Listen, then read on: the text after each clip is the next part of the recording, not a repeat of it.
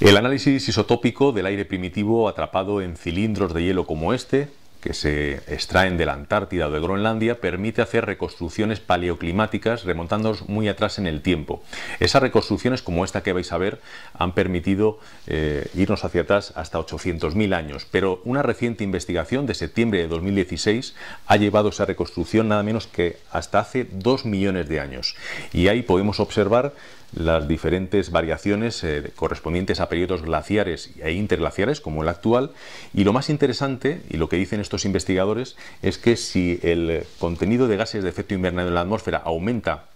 tal y como apuntan las proyecciones climáticas, lo más seguro es que de aquí a dos o tres siglos estemos con unos valores de temperatura sensiblemente mayores que los que mm, se pueden observar que había hace esos dos millones de años.